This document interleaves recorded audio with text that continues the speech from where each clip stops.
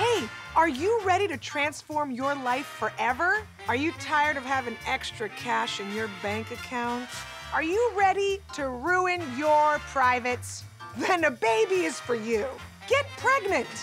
Friends of mine now, definitely that are married, talk to me about how they're trying to get pregnant, which is such a weird euphemism for just saying, like, we're a lot.